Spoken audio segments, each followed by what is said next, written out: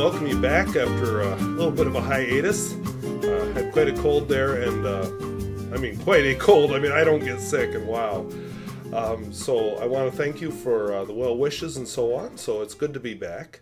Uh, this week, a pen I have for you is a Nemosine Singularity. It's a pen I've actually had some dealings with before, and we'll talk about that uh, a little bit later on in the review. Now, this is kind of a cool pen. The uh, physics is part of its marketing. The ink I have in it is Sailor Apricot, but since I'm uh, getting all these pronunciation things, I'm wondering if this is an English word or if it's another French word that I need to chop a bunch of syllables off. Or at least consonants. But uh, nice bright ink. I don't know why I put it in this pen. Uh, neat thing about this pen is a 0.6 millimeter stub nib, and that's what I wanted to point out first, actually, which is why I have it inked up and wrote already. It's just kind of an odd size.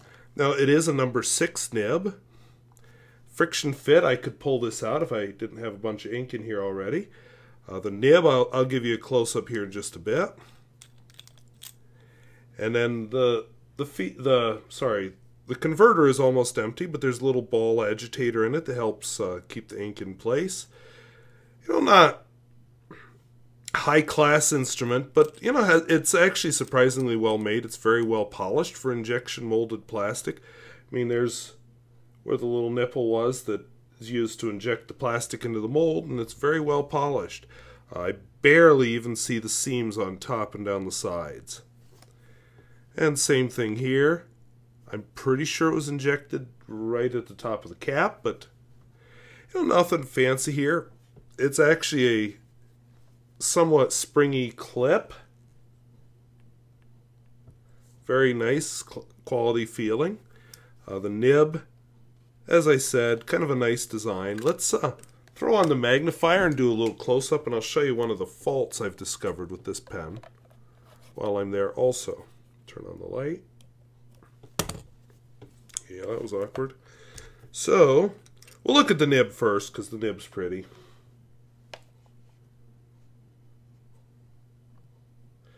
So I, I just kind of like that design. Oh, and I just wrote. oh, well. So, just very attractive. Uh, the, as I said, 0.6 millimeter nib. Made in Germany. And the feed is a regular feed like you get with the number 6 nib. Now, uh, Nemosine has... I'm oh, sorry. I went... I... broke the video off there, but I got up and got something. Nemosine has come out with a re-entry nib, which they uh, use a torch and some acetone and, and some oils to get a neat effect on. So this is a a broad re-entry nib. So let's get a close-up of that under the microscope. So, huh? So it doesn't give quite the full effect under the microscope. Let's try turning it. Maybe that'll work better. Yeah. Either way you cut it, it doesn't... There's probably a happy place in here somewhere. Doesn't quite give you the full effect, but it is a neat effect in person. So let me set that aside, and it's a number six, so even if you don't put it even if you don't buy a Nemosine pen, it's worth considering. Now, I mentioned I've had Nemosine before. Let me start with the good. Take a well, actually, I'm going to start with the bad because the microscope's on the lens. All right, so uh, if you look around the base of the cap here, well, uh, let me take off the barrel so you see what's cap. You can see there's a metal ring and then this bit of plastic. Now, do you see that right there? little micro fractures. Uh, I noticed a few more. And you might be saying, okay, we're being a little picky, aren't we, Mr. Squirrel? Um, yeah, there's some more. And some of these are the injection lines. Let me tell you why I care about them. I actually bought this pen several years ago. Same color, actually. I uh, I think they were still using the iridium nib rather than this current nib. Anyway, so I, I purchased one, and a very nice writer. I bought a fine, and at that time, that was the beginnings of my exploration of the fountain pen world. But it arrived on a Friday, and I almost I noticed right away those micro fractures. By the end of Saturday, most of that bit around the cap had broken off. Well, that was a little disheartening. So I wrote the company because they have a pretty good warranty, and they said, Yeah, we'll just send you a new one. Which they did. And I opened up the box, and already there were microfractures, and about half of those pieces were broken off around the lip of the cap. So I said, To hell with this. Pardon my French, but that is actually what I said. And uh, oh yeah, sorry, my uh, I probably off centered there. So I probably just offended my French viewers, but ah, so I was pretty angry, and I swore off Sign forever. And honestly, I'd probably have, still have them sworn off, except I heard good things about them. So I'm a little disappointed. I've had this pen for a few months now. I'm disappointed to start seeing those microfractures. I'm hoping that's all the further they get.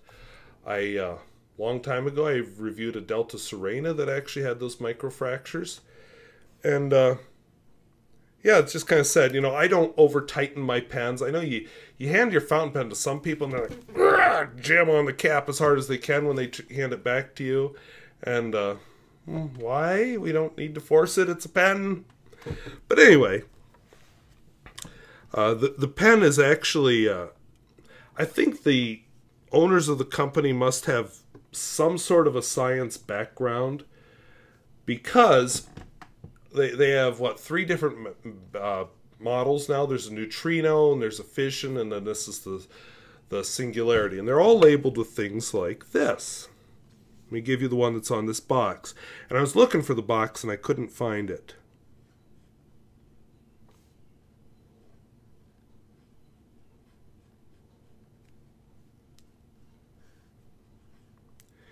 Now, if you're all up in your physics, R is what they call the Schwarzschild radius. I may be mispronouncing that, but it's a mix of English and German, so I'm not sure what where to go with that. Uh, Schwarzschild radius, that's actually uh, the radius at which a mass, the M stands for mass, would have to be compressed uh, in order for to have the escape velocity of light.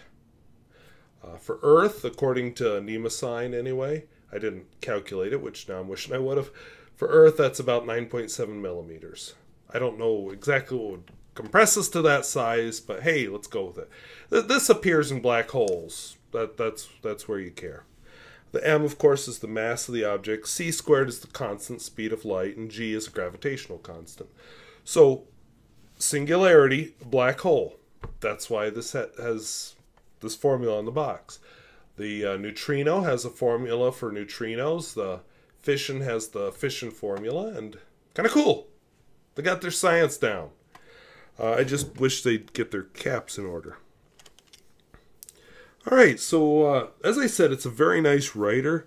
Uh, it's been now two weeks since I've done a pen review. I don't remember what to do next. Okay, wetness and flow. How about we do that? So I usually zoom in a bit for that as I recall. And I turned my camera around because of something I noticed. We'll see if it helps. Ew.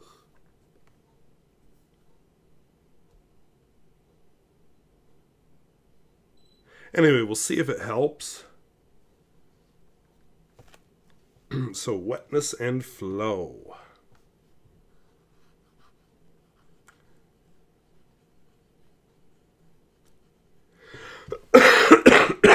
Excuse me. And as you can see, I'm not totally over this cold yet.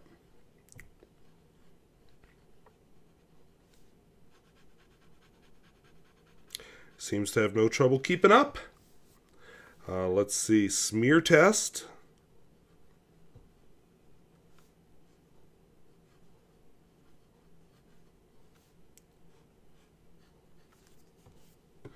Probably seems to lay down a pretty good amount of ink and reverse writing for those who are into that sort of thing.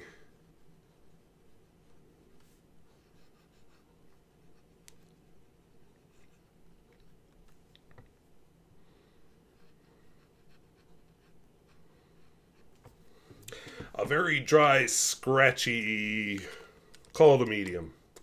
So this is uh, sort of an odd stub size. That's what Nemosine seems to sell. They have this one. They have, uh, I believe it's the 0.9 and then, of course, they have the medium, the fine, the broad, the extra fine.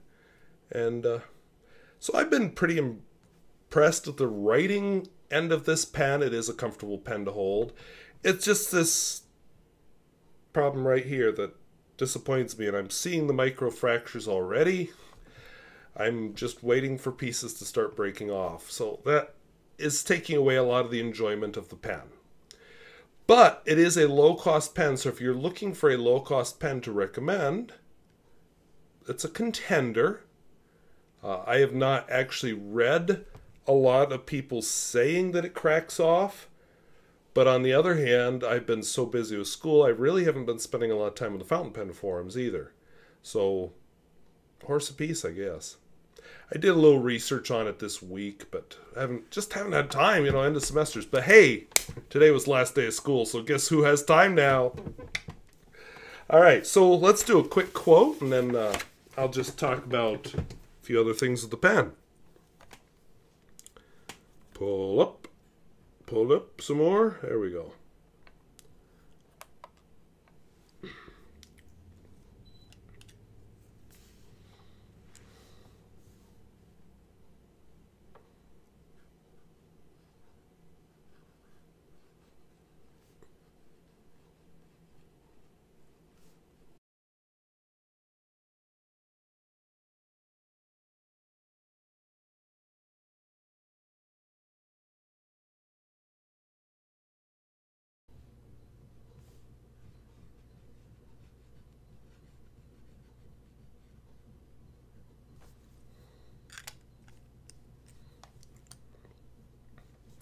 The nice thing with this size stub is you can actually coax out some pretty decent ordinary writing that has a special flair to it that a broad nib would not have.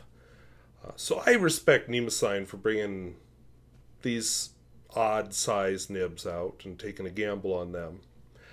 Uh, I actually do like writing with the pen. It's comfortable in the hand. Um, is it good value for money? A conditional, yes. And the condition being it doesn't start cracking around the lip of the cap here. Personally, I think that this either this metal band needed to come down a little further or possibly, and I don't know, but possibly this just needs to be a little narrower here so that the cap doesn't go over top of it. I don't know what's causing the cracking, but you know, it's disappointing. Uh, but otherwise, this is a good entry level pen, and it's one you can experiment with. It's a number six nib, so it's a common size. You can slip out that nib, you can slip in another nib. Uh, like I said, these re entry nibs, let's see if this looks better under this camera. Oh, I just can't win with the lighting here, can I? I mean, my eyeball, it looks amazing.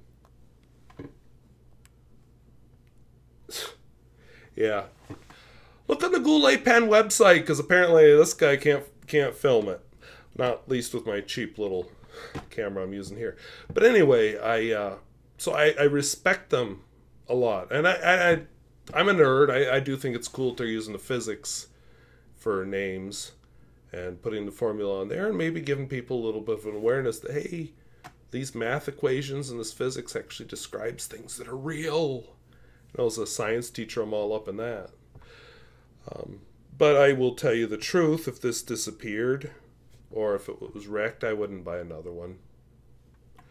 It's just doesn't do anything special for me.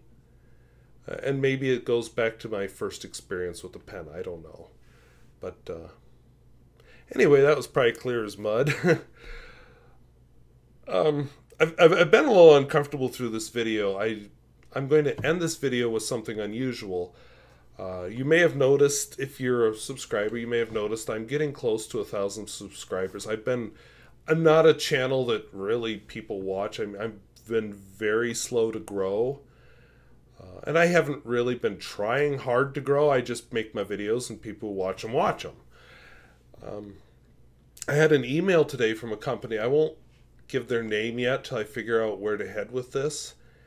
Uh, it's a company. It's not probably a company you've heard of. I mean, they do make pens, but they don't make very many. And they just asked me about what are my conditions for reviewing a pen, and I just thought, wow, I have never, honestly, been approached for this before. and I'm not sure you know, I've always just reviewed pens that interested me. I uh, once tried to buy a pen, and I I don't know why I did, but I mentioned that I do pen reviews in the email with, with the company, and they, they just flat out said, uh, "Yeah, we we're not going to sell to you because you do pen reviews." So, okay, uh, so this isn't that company. This is a company that solicited me. You know, I could see why a company that makes pens might not want to review or to buy their pens, but uh, I don't know. I also know a lot of reviewers get pens this way, and yeah, I'm a little uncomfortable. I'm not sure where I'm headed. You know, if if I were to if I were to accept their offer, however, I I would not want to keep the pen. So then what do I do with it? You know, I send it back to them. I don't know. So it just kind of makes me uncomfortable and I'm leaning towards saying no, I don't do uh, reviews on request. Um, but you know, I also know I have done reviews of pens that have been loaned to me, and a few that have been given to me. But then those weren't given to me or loaned to me by companies. They were given and loaned to me by individuals who just thought it'd be cool to see this pen that they like reviewed. So uh, I'm uncomfortable. I'm. It's obviously weighed on my mind through this whole review because I've been kind of awkward. Uh, curious about your thoughts. So let me know in the comments and let me know what you think of the Nemosine singularity. Is this cracking a problem or did I just have bad luck with an early batch and these little fractures I see here are just purely cosmetic? I don't know. So I'd be curious about your experience with that as well. So I thank you for watching. It is good to be healthy again and I will be definitely back on a more than regular schedule because I am free. So thank you for watching. We'll see you later. Bye bye.